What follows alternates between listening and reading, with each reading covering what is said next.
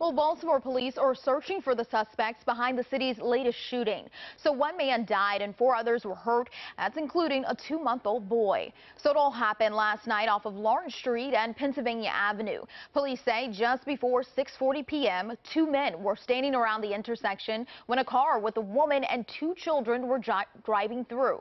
Now, gunshots rang out, causing that woman to crash. A 43-year-old man died, and a 65-year-old man and the woman driving were also shot.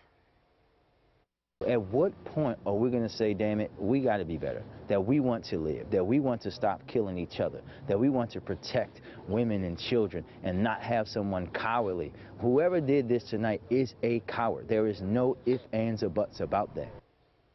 Well, the three-year-old got hurt as a result of the crash, and he is in stable condition. The two-month-old inside the car suffered head injuries as a result of that crash and is now in critical condition.